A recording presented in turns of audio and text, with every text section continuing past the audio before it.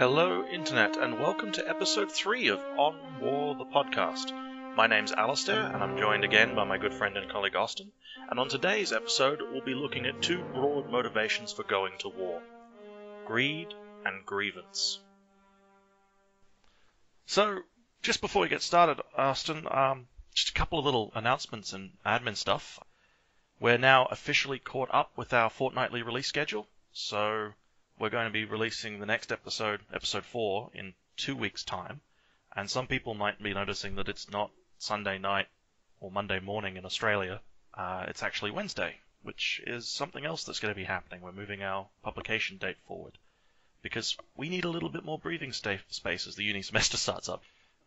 Uh, the other thing that comes up is we've now also got our first official uh, patron. So shout out to uh, the username is Keith for being our first patron ever, which is kind of exciting.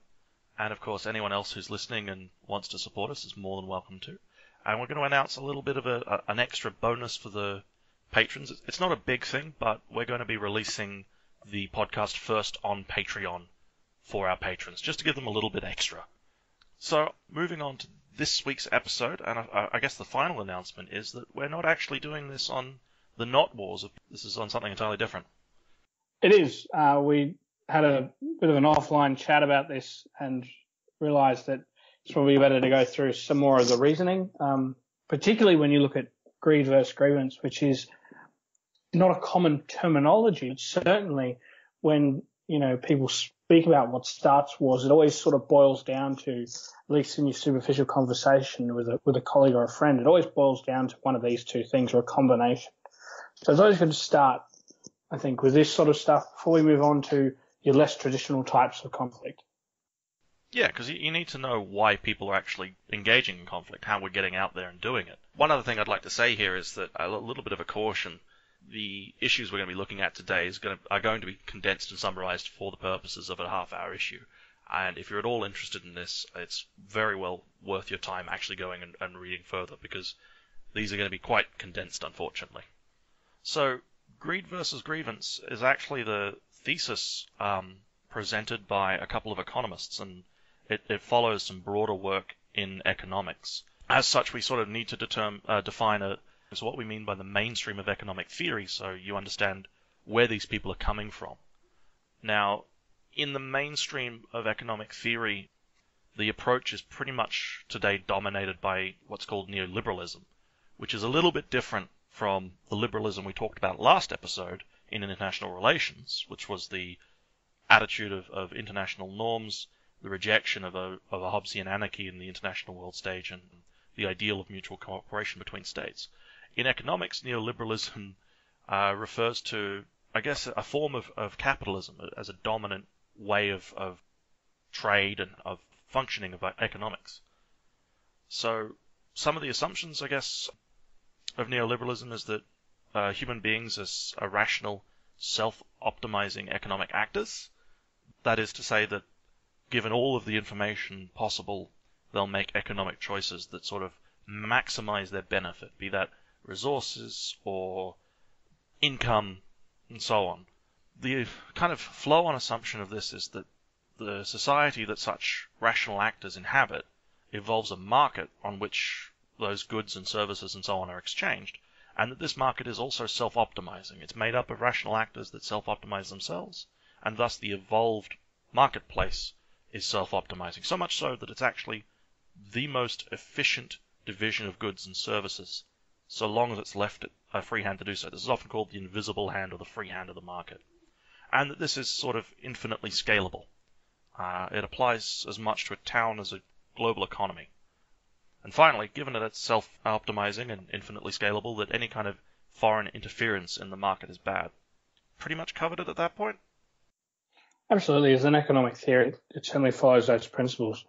Obviously, we're going to be applying it in a second, but it's worth realizing that this concept of bringing economic theory into uh, what is effectively conflict studies is part of the ongoing um, creep of hard sciences into the social sciences. And we talked about this a little bit last episode, um, but it's worth acknowledging here that this theory really fits into an understanding of international security and international relations that is realist as well as liberalist. So your traditional approaches, it sort of falls down when you start looking at it from more non-traditional schools of international thought. Um, so that's where this comes from, and that's sort of where it sits when we start to make the transition across to how it impacts and how it looks at warfare. And just on that, it's uh, very important to realize that this is happening, that there is this push of sort of hard sciences or a desire to get hard science into these kinds of studies, particularly in conflict, because of course the policymakers and the powers that be want straight answers. It's been seen by many as being far too long a, a fuzzy kind of area, and they, they want formulas, they want rules they can follow.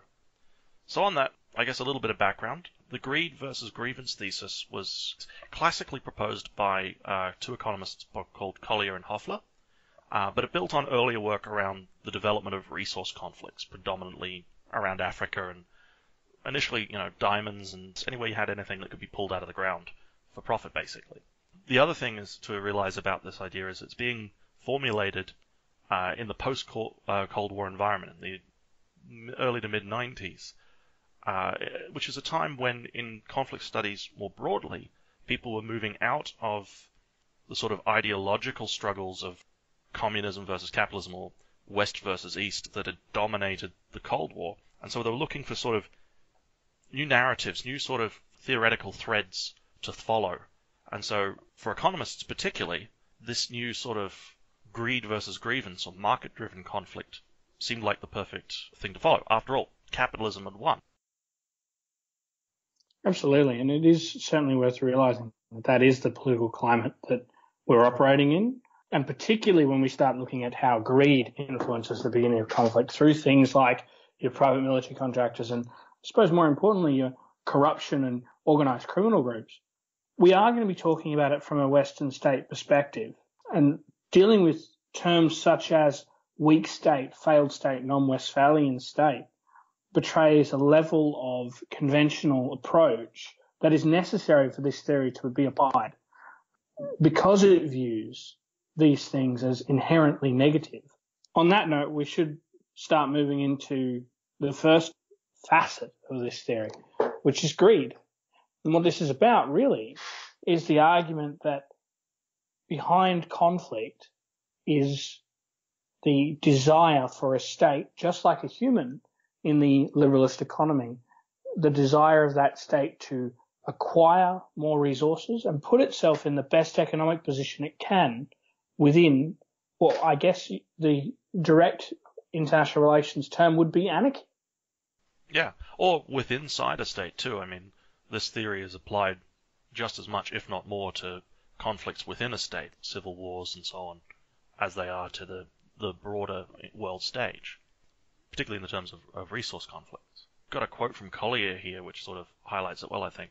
And his contention was that a profound gap existed between popular perceptions of the causes of conflict and the results from recent, as in theirs, economic analysis in that context, economic predation was the norm in conflict, and that insurgents, and this is where it plays into non-state actors, are indistinguishable from bandits or pirates. And you can certainly see how that is influenced by how we currently approach your bandits or pirates, or how those terms are applied in the discourse around certain conflicts, particularly at the intrastate level, as opposed to state to state conflict. Yeah, famously at their peak, the Islamic State was certainly trafficking huge reservoirs of oil and actively recruiting engineers and, and various other specialists to aid the production of, of that resource and, and to ship it internationally. Although where exactly it's gone has become somewhat harder to track. You get the same sort of results in, in Africa's diamond wars and the various conflicts there. So the economists sort of took it a little step further, having believed they'd established that uh, the cause of conflict was more in economic kind of motivation rather than political or, or I guess grievance, the you know various problems that arise between ethnicities or religions.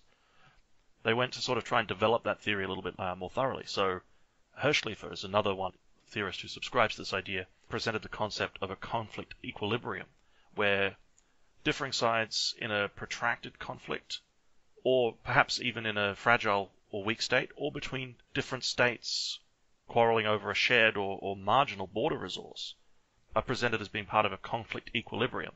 Neither side is necessarily at war or at peace in that equilibrium, but are instead both rationally balancing, that is, rationally in the economic neoliberal sense, the perspective costs and benefits of taking either a productive, that is, peaceful strategy towards the resource production, or a predatory one that involves conflict. And this is particularly apparent when you have ongoing long-term civil conflicts. One of the case studies we're dealing with a little bit later is sort of Colombia, but Alasdair mentioned the uh, diamond trade, the illicit diamond trade in Africa, but also closer to home. We have in our backyard the second most pirated region in the world.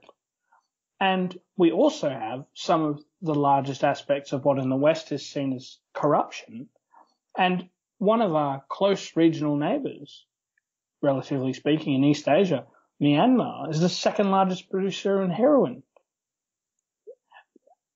What's interesting here, though, is particularly with ongoing civil wars, and we see this across multiple states in our region, is that an almost not a truce because the conflict on go continues, but within a state where corruption is rife, where the state body is state body is weaker, and where the rebel group or insurgent faction has strong links with either committing directly transnational crime or with organized criminal groups. What we see is a level of resource extraction that is allowed, where the state is focused on protecting itself and its own interests or is crippled from protecting its own resources against the predation of these organized criminal groups. And this is a reason why the economists are getting involved because it's important to remember that these low intensity conflicts that aren't necessarily hot wars, so to speak, they do have a major economic impact. Even if you take piracy, for example, there were over 1,600 recorded acts of piracy between 2000 and 2003 in our backyard in the Southeast Asian region. Of these, most occur from docked vessels where they demand a ransom to let the ship go, sometimes up to $100,000. And these instances can have serious economic impacts on the state, particularly when the state is weakened or is unable to protect itself or its vessels. So the 2002 attack in Yemen on a Yemeni ship led to a 300% increase on ship insurance policies for ships traveling through Yemeni ports or Yemeni waters. And that had an immediate impact on the Yemeni economy, where their port volumes, the, the amount of commercial equipment that was transitioning through their ability to tax it effectively, and here's where the kicker is, dropped by 50%. So that had a major impact on the state's ability to fix the issue involved, to stop that predation that Alasdair mentioned. And this is one of the things when you're looking at, uh, particularly when you're looking at greed, the most obvious ones that we're dealing with here is when you've got a conflict that involves, as one party, a transnational criminal group so when you're looking at piracy or when you're looking at the illegal drug trade, both of which have quite heavy conflicts in terms of the use of arms and violence, these organizations in the conflict, and I wouldn't go as far, so far as to ever call it a war when you're dealing with these kinds of groups, but one of the sort of strategies of these groups is to maintain this, this level of state instability that allows them to conduct their business. And it's not only just your overt criminal acts, your violent criminal acts like the drug trade, piracy, illegal logging, which is not what you'd immediately go to when you think of transnational crime. It has an insane impact on the economies and therefore the resilience of these states. For example, it's thought that over 40% of the timber that comes out of Indonesia is illegal taken by organized criminal groups. The World Bank thinks that it rises as much as 80% of all logging in Bolivia and 42% of illegal logging eh, of logging in Colombia. We're not talking about dudes smuggling timber on the back of a pickup truck here. We're not talking about people running drugs into the US in the backseat of their minivan. We're talking about an organized group that is shipping in commercial quantities, literally tons, metric tons of illicit goods that they're making a profit off of. That indicates that these states have completely lost the ability to effectively govern their own resources. These are incredibly valuable resources. Even just the timber, we're looking at billions of dollars. The illegal drug trade, billions of dollars. Human trafficking, again, billions of dollars. I think Colombia is a great example of this. Anyone who's watched Narcos on Netflix will kind of already be a little bit familiar with the drug trade in Colombia. But Colombia has actually played host to the longest running insurgency in the modern world, stemming from about 1958 and arguably still going on today, although peace processes between the major groups are currently actually in the process of being signed and they look like they might stick this time. But in that, of course, you've got uh, early days of the uh, insurgency with the uh, National Liberation Army, the ELN, and uh, and the Revolutionary Armed Forces of uh, Colombia, FARC, as the classic sort of left-wing nationalist revolutionary groups. But by the time of you know Narcos and your, your Pablo Escobar and the Medellin cartel and, and other cartels get involved in the drug trade, and the nature of the conflict starts to change because all of this money, these um, resources, start to flow in. Now, when the Medellin cartel and the other cartels became, uh, started to get stomped uh, by the Colombian government in actions that were quite militaristic, uh, that trade didn't go away. Uh, to give you a comparison, 1978, uh, the DEA estimated that about 85% of a four U, uh, billion dollar a year, that's US billion dollar a year cocaine trade came from Colombia. By 2005, the estimated figure of FARC's cocaine trade alone was 3.5 billion. So the numbers really didn't change, and those resources, instead of going to criminal gangs, which of course, like the high lives and really are purely in it for the money, was going instead to sustain an ongoing insurgency.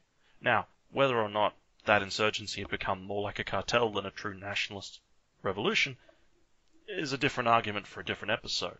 But it shows how that how much that funding can can be and how long it can sustain uh, that kind of ongoing conflict. I mean, FARC has been operating in Colombia since 1958. Not only that, to, but to bring it back to your point about between uh, with other countries, Colombia has been in constant disagreement, if not veiled conflict with its neighbors, due to the passage of cocaine across state borders. So that sort of really shows a, the perfect case study of that transnational criminal element that becomes quite rife when you're dealing with this pure greed kind of thesis. Now, there was another example of pure greed and conflict that you were dying to talk about, Austin, I know, uh, in the, the mercenary aspect. Uh, you're right there, Alasdair. I mean, we, we used to have, when we were first putting together the show notes for this, the military industrial complex, but that's been pushed to another episode because, as we all know, um, that is a can of worms that we really need to open and kill all the worms. So we'll limit it just to mercenaries here because, again, what we're seeing here is an enabler, a non-state entity that, for reasons of greed, enables or prolongs conflict in the same way as transnational criminal groups do, for the same reason. Now, your mercenary, or to use the term they prefer at the moment, private military contractor, allows a state that would otherwise not have the resources to persecute a conflict or the political capital to do so, it allows them to have access to that option, that foreign policy option being warfare. What that translates to is a group of, of trained soldiers who you don't have to use resources to train, house, equip, etc., who will go in and persecute conflict. Their only reason being to personally improve their economic standing. The reason that mercenaries are important, I think, to talk about with greed is that they're the only organization where the vast majority of their participation in a conflict, no matter how ongoing the conflict, is driven by greed, as opposed to grievance. And my personal opinion on grievous grievance will come in a little bit later, but I, I think it's important to raise here that mercenaries have the ability to be sent in and then pulled out when the money stops flowing. And while there are plenty of examples through history and even modern times of that not exactly going to plan, the recent, historically recent fall of things like apartheid has meant that we have a plethora of these soldiers, and particularly the war on terror has produced tons of them, soldiers who are willing to fight for greed, effectively, for economic security. And that has meant that states are more willing and more able to persecute wars on the basis of predatory economic goals. Uh, one of the things that pops up in the literature about the, the rise of the private military corporation, too, though, is a look at how large corporations in general tend to function in the US political scheme. And one of the concerns that gets raised by authors again and again is um, the possibility that such corporations, given sufficient growth, uh, might come to directly impact foreign policy through their contributions to political campaigns or so on. Particularly when you're dealing with the United States and the president can't declare a war without congressional approval, but perhaps inside of the discretionary funding they can afford a few security advisors. Uh, you saw that in Iraq uh, when President Obama was able to deploy, oh, I can't remember the number, but several thousand security advisors in excess of what Congress had allowed in the deployment of troops because it was part of a different budget stream and a different political process. And when that starts to affect things, there are more questions you have to ask. Although, again, this is not a, a new thing. I mean, you can look at um, Roman, uh, the, the Roman use of mercenaries in the third and second um, century BCs onwards throughout the empire, the actions of the Condottieri in the Italian um, in the Renaissance, in Italy in the Renaissance. I mean, this isn't none of this is new. Nothing that we really talk about in this podcast winds up being new. Absolutely. And, and also the economic impact of simply having the level of, and I don't want to get into the military industrial complex thing here, but I will mention it briefly. The level of economic value of these companies, particularly in the post 9-11 era, has meant that they do have significant political pull within the US, but also within the developing countries in which they typically operate. G4S, for example, the British private security firm, is the third largest employer on the planet and let that sink in a little while at home. The third largest employer of human beings on our planet is in private security. It is a PMC, a private military company. Not that all those people are mercenaries, of course. You'll have accountants and lawyers and public relations people and all sorts in that. But the fact that it's gone sort of beyond the the, the romantic 1950s, 1960s image of the, the adventuring soldier of fortune to such a large corporation invested in so many different things kind of shows you the scale of this. So we've sort of dealt with two very clear examples where greed is absolutely a primary motivator in conflict. That is, transnational criminal groups and organized crime, and, and of course the, the mercenary factor with private military companies. But this theory isn't without its problems, and I guess the first one that I want to bring up is the cornerstone of all of this and of that neoliberalist economic theory is this idea that human beings are rational actors. Uh, no space is given to beliefs or in inequalities beyond resource distributional prejudices. And when they do that, what they really do is they remove the context to many conflicts, and they ultimately sort of desocialize and dehumanize what I would say is probably the most intrinsically human and social act, that is, of violence, particularly organized and resistive violence uh, when we start looking at this stuff, and particularly because when you start looking at ongoing conflicts, where this falls down is there is no way for an actor to remain rational.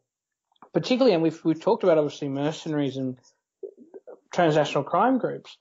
They might start a conflict, or they might join a conflict, I suppose is the better terminology, on the basis purely of greed.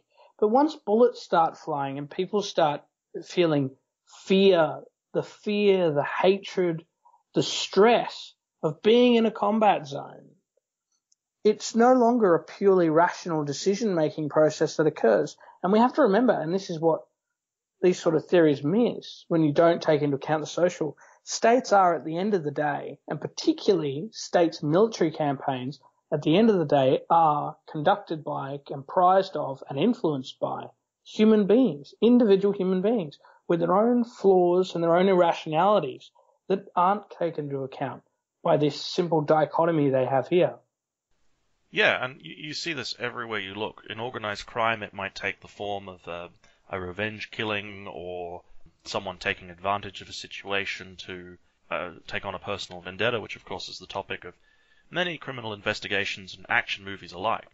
But on the other side of things, you can have conflict spiral completely out of control through a pure act of grievance. So an example I want to use here, and I will probably bring this up again in later episodes, was in Iraq in 2006 when a group of militants from what was then Al Qaeda in Iraq snuck into the Askaria Shrine, which is one of the most holy sites in Shia Islam, kidnapped the guards and blew the damn thing up.